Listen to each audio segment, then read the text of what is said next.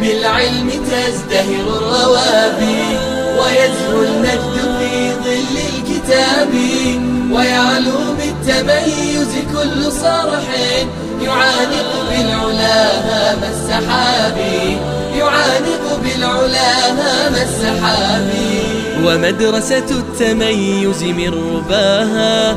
يشع النور في كل الرحاب. درجت على مقاعدها ربيعا. يراعي في يدي ومعي كتابي. ومدرسة التميز من رباها. يشع النور في كل الرحاب. درجت على مقاعدها ربيعا. يراعي في يدي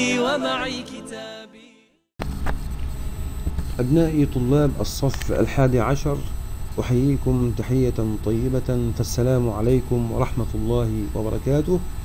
ويسرنا أن نستكمل معكم اليوم الدرس الثاني منبع السحر في القرآن الكريم. والآن ننتقل إلى التذوق الفني. أسلوب القصر. ما معنى القصر في اللغة العربية؟ قبل أن نتعرف على مفهومه فلننظر إلى الجملتين التاليتين. الجملة الأولى تقول يفوز المجد يفوز المجد. والجملة الثانية تقول لا يفوز إلا المجد. أحبتي الكرام إذا سألنا سؤالا ما الفرق في المعنى بين الجملتين؟ الأولى يفوز المجد والثانية لا يفوز إلا المجد. ما الفرق بينهما؟ فكروا جيدا. نعم الفرق واضح. فالجملة الأولى يفوز المجد تحمل معنى الإسناد فقط أي إسناد الفوز إلى المجد. لكن الجملة الثانية عندما تقول لا يفوز إلا المجد ففيها معنى الاختصاص والتأكيد أي اختصاص المجد بالفوز وتأكيد حصوله عليه.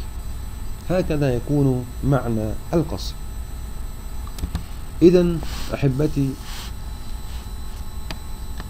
فالمقصور في هذه الجملة هو الفوز والمقصور عليه هو المجد. إذا ما معنى القصر؟ أيها الأحباب فالقصر هو تخصيص أمر بأمر آخر بطريق مخصوص. ولتعلم جيدا أن للقصر طرفان هما المقصور والمقصور عليه. في الجملة السابقة الجملة الثانية عندما تتعرف على طرفي القصر نقول لا يفوز إلا المجد فقد قصرنا الفوز على المجد.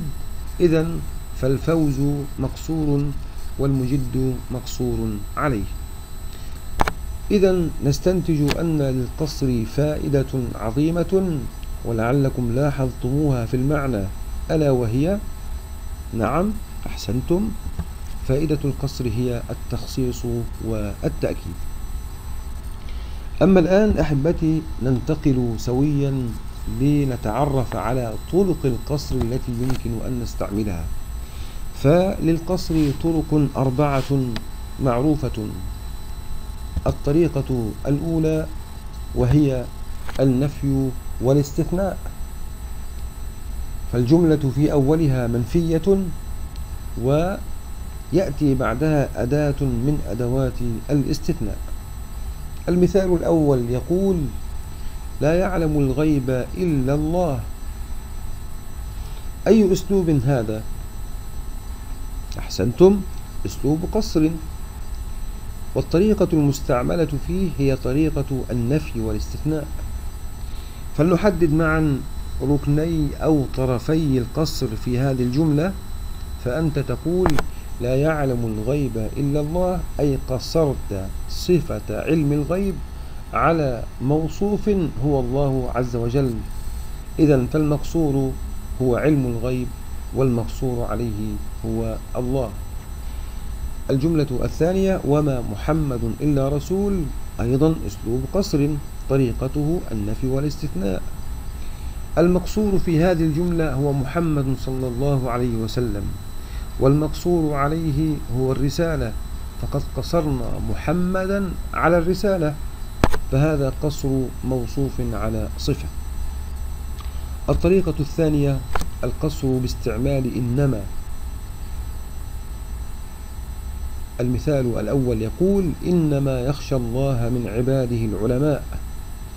فالآية كما ترون أحبتي فيها تخصيص. لماذا؟ نعم أحسنتم.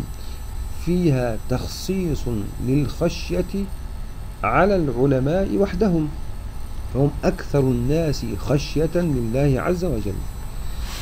فالقصر بإنما المقصور في هذه الجملة هو الخشية والمقصور عليه هم العلماء. المثال الثاني يقول إنما الدنيا فانية فقد قصرنا الدنيا على صفة الفناء ففيه قصر موصوف على صفة. الطريقة الثالثة وهي طريقة العطف باستعمال الحروف الثلاثة وهي لا وبل ولكن. عندما تستعمل حرف العطف لا فالجملة قبله مثبتة. أحب الصالحين للعصاة.